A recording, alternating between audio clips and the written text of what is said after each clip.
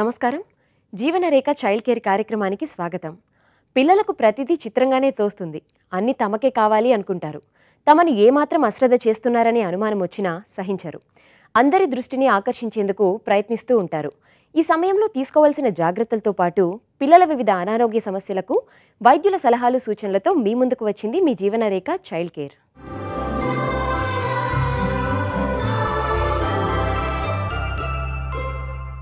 పిల్లల ప్రవర్తన చిత్రంగా అనిపించినా అందరి దృష్టి వారి మీదే ఉండాలని కోరుకుంటూ ఉంటారు.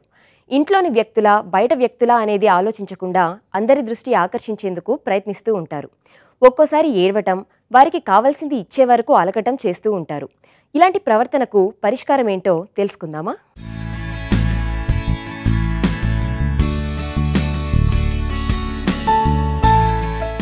అప్పటి వరకు అంతా బాగానే ఉంటుంది. ఉన్నట్టుండి పిల్లలు ఏడవడం మొదలు పెడతారు అందరూ తమ దగ్గరకు వచ్చేదాకా ఊరుకోరు. ఏడవడం ద్వారానో లేక మరేదైనా పని చేయడం ద్వారానో అందరి దృష్టిని ఆకర్షించే ప్రయత్నం చేస్తారు. ఏ ఒక్కరూ వారు చేసే పనికి స్పందించకపోయినా మరింత సమస్యాత్మకంగా ప్రవర్తిస్తారు. దీనికి కారణం ఒక్కటే పిల్లలు తమకే అన్నీ కావాలని అనుకుంటూ ఉంటారు. తమను తాము ప్రత్యేకమైన వారిగా భావిస్తూ ఉంటారు. సాధారణంగా తల్లిదండ్రులు సామాజికంగా తమ పిల్లలు మర్యాదతో ప్రవర్తించాలని కోరుకుంటారు. కానీ పిల్లలు ఇలా ప్రవర్తించడం తల్లిదండ్రులకు కాస్త ఇబ్బంది కలిగిస్తూ ఉంటుంది. ఇదంతా ఎందుకో తొలత తల్లిదండ్రులకు అర్థం కాకపోయినా ఆ తర్వాత అందరి దృష్టిని ఆకర్షించేందుకు వారు ప్రయత్నిస్తున్నారనే విషయం క్రమంగా అర్థమవుతూ ఉంటుంది. అదేవిధంగా రోజు తల్లిదండ్రులు తమతో ప్రవర్తించే తీరు ఇతర పిల్లలతో ప్రవర్తించే తీరును పిల్లలు గమనిస్తూనే ఉంటారు. తమకిచ్చే ప్రేమ మరొకరికి దక్కకూడదు అనే ఉద్దేశంతో మరియు తల్లిదండ్రులు వారికి దక్కకపోతారేమో అనే ఆలోచనతో పిల్లలు ఇలా చేస్తూ ఉంటారు. ఇదేమీ పెద్ద సమస్య కాకపోయినా ఇది ఇలానే కొనసాగితే భవిష్యత్తులో పిల్లలు మానసికంగా కుంగిపోయే ప్రమాదం ఉంటుంది. అందుకే ఇలాంటి సమస్యలకు ప్రారంభంలోనే పరిష్కారాన్ని కనుగొనాల్సి ఉంటుంది. ఇప్పుడు బాబుకి కోపం వచ్చింది. మదర్ తన పని ఇగ్నోర్ చేస్తోంది అని అనుకుందాం. ఇగ్నోర్ చేస్తున్నప్పుడు పిల్లాడు ఆ రూమ్లో ఏదో ఇసిరి కొట్టడము లేకపోతే అరవటము లేకపోతే ఇంకేవైనా బిహేవియరల్ మనకి సిమ్టమ్స్ చూపిస్తూ ఉంటారు. సో ఇలాంటి బిహేవియరల్ ఏవైతే సైన్స్ చూపిస్తూ ఉంటారో అలాంటివి పేరెంట్స్ గుర్తించాల్సి ఉంటుంది. సో అంటే ఏంటి? పిల్లాడు అటెన్షన్ ఎలిసిట్ చేయటానికి ఇలాంటి బిహేవియర్స్ అన్ని చూపిస్తున్నాడు అని. అంటే అక్కడ ప్రాపర్ అటెన్షన్ పేరెంట్స్ దగ్గర నుంచి దొరకట్లేదు అని చెప్పి అని అర్థం. ఇది అటెన్షన్ సేకింగ్ బిహేవియర్ అని అంటారు. కానీ ఈ మనం తరచుగా చూస్తుంటాం పేరెంట్స్ ప్రతి ఒక్కరు అంటారు మేము ప్రాపర్గా అటెన్షన్ చూపిస్తున్నాము కానీ మా పిల్లాడు ఇంకా ఇలాంటి బిహేవియర్ అన్నీ చేస్తున్నారు. అంటే అది కూడా లెజిటిమేట్ వేలో ఆ అటెన్షన్ని చూపించడం. అంటే పిల్లలకి పిల్లలకి మనం ముందు నుంచి నేర్పించాలి. ఇలా అటెన్షన్ చూపించినప్పుడు ఏది కరెక్ట్ ఏది తప్పు అనేది మన మన బాధ్యత ఉంటుంది. అది మనం ఎంతవరకు ఇలాంటి అటెన్షన్ చూపించినప్పుడు మీ రెస్పాన్స్ మీద ఆధారపడి ఉంటుంది. సో ఇలాంటి బిహేవియర్ మనము పెద్దగా మనము సీరియస్గా తీసుకోవాల్సిన అవసరము లేదు. అలాగే మనం జాగ్రత్త కూడా తీసుకోవాలి. ఏంటంటే ఇది చాలా కండిషన్స్లో ఉంటుంది. ఇప్పుడు ఆటిజం ఆర్ లేకపోతే ఏడిహెచ్డి ఆర్ లేకపోతే బిహేవియరల్ ప్రాబ్లమ్స్ ఇట్లా చాలా కండిషన్స్లో ఈ అటెన్షన్ సీకింగ్ బిహేవియర్స్ అనేది పిల్లల్లో కనపడుతూ ఉంటుంది. ఈ తరహా సమస్య ఉండే పిల్లల్లో కొన్ని లక్షణాలను మనం ముందుగానే గమనించవచ్చు. వీరు ప్రధానంగా ఎప్పుడూ ఏదో ఒక అనారోగ్యం ఉన్నట్లు నటిస్తూ ఉంటారు. తల్లిదండ్రులకు అది నటన అని తెలుస్తూనే ఉంటుంది. అబద్ధాలు చెప్తూనే ఉంటారు. పిల్లలు కొన్ని సమయాల్లో ఎదుటి పిల్లలకు హాని కలిగించడానికి కూడా వెనకాడరు. ప్రతి చోట తామే నాయకుడిగా ఉండాలని ప్రయత్నిస్తూ ఉంటారు. అంత తమ చేతుల్లో లేకపోతే అక్కడి నుంచి వెళ్ళిపోవడానికి ప్రయత్నం చేస్తూ ఉంటారు. ఆటల్లో కూడా ఇలాంటివే చేస్తూ ఉంటారు. తాము అనుకున్నది జరగకపోయినా గెలవకపోయినా వెంటనే ఆ ఆటల్ని చెడగొట్టేందుకు ఆపేసేందుకు ప్రయత్నిస్తూ ఉంటారు. తాము లేకపోతే అక్కడ ఏమీ జరగదని తెలియచేసేందుకు ప్రయత్నిస్తూ ఉంటారు. ఇది ప్రవర్తనలో వచ్చే సమస్య మాత్రమే కానీ పిల్లల వ్యక్తిత్వంలో వచ్చే సమస్య మాత్రం కాదు. దీనికి సంబంధించి పిల్లలతో మాట్లాడినా సమస్య పరిష్కారం కావటానికి ఆస్కారం ఉంటుంది. అయితే ఈ విషయంలో పిల్లలను ఏమాత్రం దండించే ప్రయత్నం చేయకుండా వారికి నచ్చజెప్పే ప్రయత్నం చేయడం వల్ల ప్రయోజనం ఉంటుంది. పేరెంటింగ్ సరిగ్గా లేనప్పుడు ఆర్ లేకపోతే పిల్లాడికి ప్రాపర్లీ ఎన్వైరన్మెంటల్ ఎక్స్పోజర్ లేనప్పుడు ఆర్ లేకపోతే లేక సోషల్ ఇంటరాక్షన్ లేనప్పుడు అంటే ఇద్దరు పిల్లలు ఉన్నారు వాళ్ళిద్దరి మధ్యలో డిఫరెన్సెస్ చూపించినప్పుడు సో ఇలా వేరియస్ కారణాలు ఉంటాయి. పిల్లలు ఎందుకు అటెన్షన్ సీకింగ్ బిహేవియర్స్ చూపిస్తారు అని చెప్పి. సో మనము ఇది అటెన్షన్ సీకింగ్ ఉన్నప్పుడు ఇది ఒక యాంగ్రీ అంటే వాళ్ళు ఉత్త కోపమే అదొక్కటే చూపించకుండా ఒక్కొక్కసారి ఇంట్రోవర్ట్గా కూడా చాలా డిప్రెస్డ్గా ఒకరే రూమ్లో కూర్చోటము ఇలాంటి బిహేవియర్ కూడా చూపిస్తారు. అంటే అటెన్షన్ సీకింగ్ అంటే ఓన్లీ సెంటర్ స్టేజ్లో ఉండాలి అంటే హైలైట్ అవ్వాలి అనేది ఒక్కటే కాదు. ఒక్కొక్కరు ఒక్కొక్కలాగా చూపిస్తూ ఉంటారు. దీంట్లో చాలా డిఫరెంట్ టైప్స్ ఉన్నాయి. అంటే ఎక్స్ట్రావర్ట్ ఉంటారు కొంతమంది ఇంట్రోవర్ట్ కూడా ఉంటారు. ఇది బేసికల్లీ ఈ అటెన్షన్ సీకింగ్ అనేది నేనే ముఖ్యము. లేకపోతే నేనే అన్నిట్లో ముందుగా ఉండాలి. నేనే నన్ను ప్రూవ్ చేసుకోవాలి. అందరి ముందు సంథింగ్ డిఫరెంట్ వేలో నన్ను నేను ప్రూవ్ చేసుకోవాలి. అండ్ అందరికంటే నేనే బాగా ఉండాలి. సో ఇలాంటి కైండ్ ఆఫ్ ఆలోచనలు అలాంటి ఎమోషన్స్ ఇలాంటివన్నీ కూడా పిల్లలు తరచుగా చూపిస్తూ ఉంటారు. దీనివల్ల పేరెంట్స్ వాళ్ళ బిహేవియర్ ఎలా ఉంది అని గమనించి అప్పుడే స్టాప్ చేయటము దాన్ని కరెక్ట్గా అడ్రస్ చేయటం అనేది చాలా ముఖ్యమండి. పిల్లలు ఏం చేసినా తల్లిదండ్రుల సపోర్ట్ ఉంటుందని అనుకోవడం వల్ల మాత్రమే ఇలాంటి సమస్య ఎదురవుతుంది. వారు ఇబ్బందుల్లో ఉన్నప్పుడు తల్లిదండ్రులు కాపాడుతారే తప్ప వారు చేసే చెడు పనులకు తల్లిదండ్రుల నుంచి సపోర్ట్ లభించదనే విషయాన్ని వారికి తెలిసేలా చేయాలి. అదేవిధంగా పిల్లల పట్ల మీకు సంపూర్ణ ప్రేమ ఉందని వారికి తెలిసేలా ప్రవర్తిస్తూ ఉండాలి. అయితే అది వారికి మాత్రమే సొంతమనే అపనమ్మకాన్ని మాత్రం పెంచకూడదు. అలాగే ఆఫీస్ నుంచి ఇంటికి వచ్చాక కానీ పిల్లలు స్కూల్ నుండి ఇంటికి వచ్చిన తర్వాత కానీ వారిని గట్టిగా హత్తుకోవడం ముద్దు పెట్టుకోవడం లాంటివి చేయడం వల్ల తల్లిదండ్రులు తమ పట్ల ప్రేమ చూపుతున్నారని వారికి అర్థమవుతుంది. పిల్లల మంచి ప్రవర్తనకు తల్లిదండ్రుల నుండి సపోర్ట్ లభిస్తుందనే విషయం వారికి తెలియాలి. వారు చేసిన ప్రతి మంచి పనికి ఏదైనా బహుమతి ఇవ్వండి. అలాగే ఏ పరిస్థితుల్లో ఉన్నా పిల్లలకు కొంత సమయాన్ని కేటాయించాలి. దీనివల్ల వారు తల్లిదండ్రుల ప్రేమను కోల్పోకుండా ఉంటారు.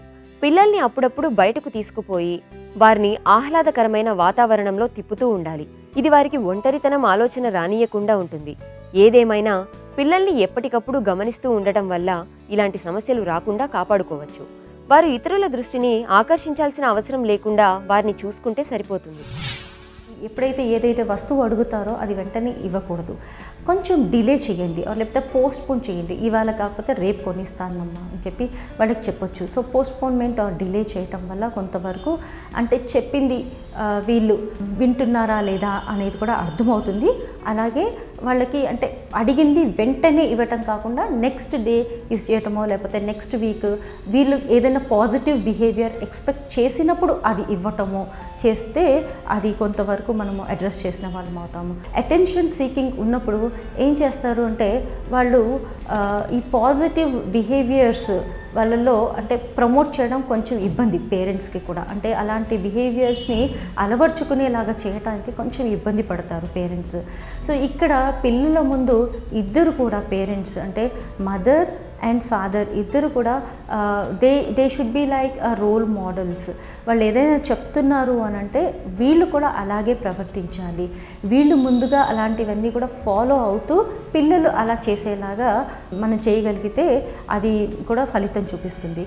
అదే కాకుండా పిల్లలు అట్లాంటివి ఏదైనా బిహేవియర్స్ చూపించినప్పుడు దెర్ ఈజ్ నథింగ్ రాంగ్ వాళ్ళ ఎమోషన్స్ ఏవైతే ఉన్నాయో దాన్ని రెస్పాండ్ చేయండి. అంటే దాన్ని వినండి. అలాంటి బిహేవియర్ చూపించిన తర్వాత వాళ్ళతో కొంచెం క్వాలిటీ టైం స్పెండ్ చేయండి. అంటే వాళ్ళతో ఒక స్పెషల్ టైం అనేది తీసుకోండి. ఆ స్పెషల్ టైంలో you spend properly with them so అలా స్పెండ్ చేసినప్పుడు వాళ్ళ ఎమోషన్స్ ఏవైతే ఉన్నాయో వాళ్ళు ఏదైనా షేర్ చేసుకునేలాగా చేయండి. అలా షేర్ చేసుకున్నప్పుడు వెంటనే మనము మాడిఫై చేయడానికి ప్రయత్నించండి. పిల్లలకొచ్చే ఏ సమస్య అయినా తల్లిదండ్రుల్ని ఊపిరి సలుపుకొనివ్వదు. వారికి అన్ని సమస్యలు ఎలా వస్తాయో తెలియదు కానీ వచ్చే ప్రతి సమస్య ఒకేలా అనిపిస్తూ ఉంటుంది. అలాంటి ఎన్నో సమస్యల గురించి తల్లిదండ్రుల సందేహాలకు సూచనలు సలహాలను ఇప్పుడు చూద్దాం.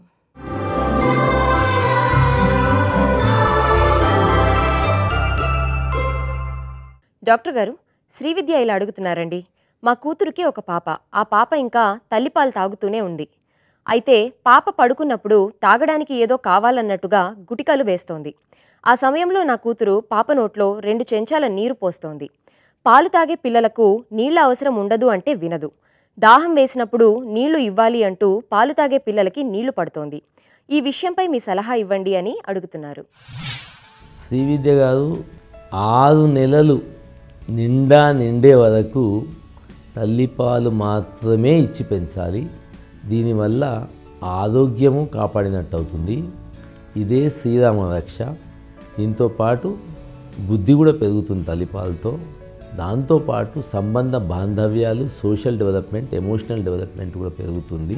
ఆరు నెలలు నిండా నిండే వరకు ఒక్క చుక్క పచ్చి మంచినీళ్ళు కూడా ఇవ్వవలసిన అవసరం లేదు. ఆరు నెలలు నిండా నిండిన తర్వాత తల్లిపాలతో పాటు అదనపు ఆహారం పెట్టాలి. ఇంట్లో వండింది పెట్టాలి ఉగ్గు తయారు చేసి పెట్టాలి అరటిపండు ఇవ్వచ్చు పండ్ల రసం ఇవ్వచ్చు గంజి జావ ఇవ్వచ్చు. సంవత్సరం దాటిన తర్వాత ఆహారం తినాలి రాత్రిపూట మాత్రమే తల్లిపాలు ఇవ్వాలి. అలా రెండు సంవత్సరాలు నిండా నిండే వరకు తల్లిపాలు ఇస్తూనే ఉండాలి. డాక్టర్ గారు స్రవంతి ఇలా అడుగుతున్నారండి. మా పాపకి ఇంకా నా పాలే పడుతున్నాను. అయితే నా సమస్య ఏంటంటే పాపకి పాలు పట్టిన తర్వాత పాపకి త్రెంపులు రావడం లేదు. పాలు తాగిన తర్వాత భుజం మీద వేసుకుని కొట్టినా బిడ్డకి త్రెంపులు రావడం లేదు. పాలు తాగిన తర్వాత పిల్లల వీపు మీద కొడితే త్రెంపులు రావాలని మా పెద్దవాళ్ళు అంటున్నారు. ఇదేమైనా అనారోగ్య సమస్య? తెలియజేయండి అని అడుగుతున్నారు.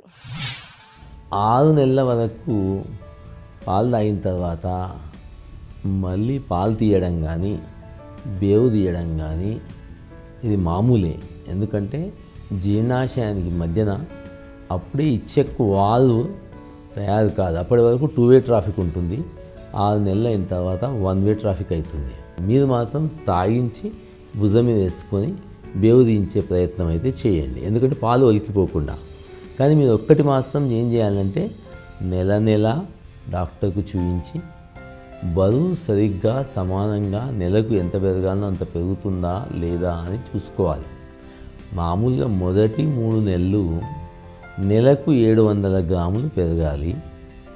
నాలుగో నెల ఐదో నెల ఆరో నెల ఐదు వందల నుంచి ఆరు వందల గ్రాములు పెరగాలి. అలా బరువు పెరుగుతున్నప్పుడు పాలు సరిపోతున్నాయి అని అనుకోండి. బరువు పెరగకపోతే పాలు తక్కువ పడుతున్నాయి అని అనుకోవాలి. మీరు కడుపుతో ఉన్నప్పుడు ప్రెగ్నెన్సీలో పద్దెనిమిది కిలోలు ప్రతి గర్భిణీ స్త్రీ పెరుగుతుంది.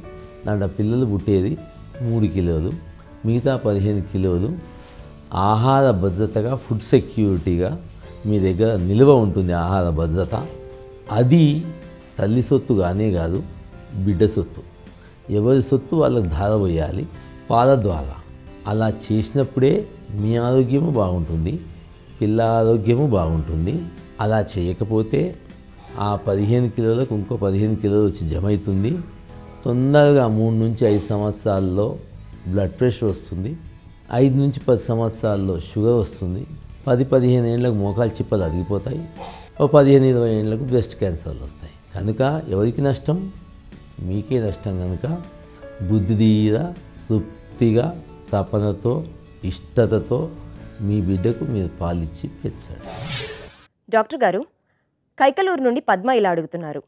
మాకు ఇద్దరు పిల్లలు. పెద్దవాడు ఏడో తరగతి పాప ఐదో తరగతి చదువుతున్నారు.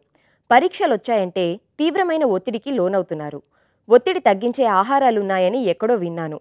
నిజంగానే అలాంటి ఆహారాలున్నాయా? అవి పిల్లలకు పెట్టొచ్చా? దయచేసి తెలియజేయగలరని అడుగుతున్నారు. పద్మ గారు ఈ పిల్లలకి ఎగ్జామ్స్ అంటేనే అందరికీ ఒక విధమైన ఆదుర్ద ఉంటుంది. స్కూల్లో టీచర్స్ నుంచి ప్రెషర్ వస్తూ ఉంటుంది ఇంట్లో పేరెంట్స్ నుంచి ప్రెషర్ వస్తూ ఉంటుంది. ఒకటి సరదాగా పరీక్షలు రాసుకోవడం అలవాటు చేయాలి అనేది అందరూ ఇప్పట్లో చెప్తున్న విషయమే. టీచర్స్ కూడా అట్లా ఎంకరేజ్ చేస్తున్నారు. మీరు గమనించినట్లయితే వీళ్ళకు రోజు ఎట్లా చదువుతారో పరీక్షల ముందు కూడా అంతే చదివేటట్టు చూసుకోండి. ఈ ఒత్తిడి తగ్గించే ఆహారం అంటే ఏమీ లేదు పెద్దగా. వాళ్ళకి ఇష్టమైన ఫుడ్ మామూలుగా పెట్టాలి. తర్వాత పీరియాడికల్గా పెడుతూ ఉండాలి. ఎవ్రీ వన్ అవర్ టూ అవర్స్కి ఏదో ఒకటి ఆహారం వాళ్ళకి ఎనర్జీ సప్లై వచ్చేటట్టు పెడుతూ ఉండండి. వీటిల్లో ముఖ్యంగా మనము పండ్లు తర్వాత ఈజీగా డైజెస్ట్ అయ్యే ఫుడ్ పెట్టాలి. జంక్ ఫుడ్ అసలు పెట్టకూడదు. దెన్ డీప్ ఫ్రైడ్ ఐటమ్స్ అసలు తినకుండా అలవాటు చేస్తే వాళ్ళకి మగతగా ఉండడం అనేది ఉండదు. సో నిద్ర లేకుండా కొంచెం ఫ్రెష్నెస్ ఉండేటట్టు ప్లస్ అలర్ట్గా ఉండేటట్టు పిల్లలు ఉంటే ఎక్కువ టైం వాళ్ళు చదువు దానికి స్పెండ్ చేయగలరు. తర్వాత చదివింది కూడా కొంచెం గుర్తుపెట్టుకోవడానికి వీలుగా.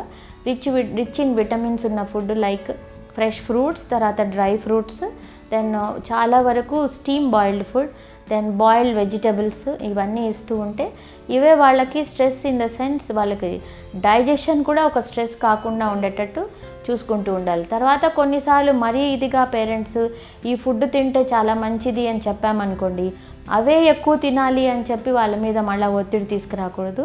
వాళ్ళకి ఇష్టమైన విధంగా తింటూ సరదాగా చదువుకుంటూ చేశారు అంటే కనుక ఒత్తిడి లేకుండా వాళ్ళకి సహకరించవచ్చు డాక్టర్ గారు జానకి ఇలా అడుగుతున్నారండి.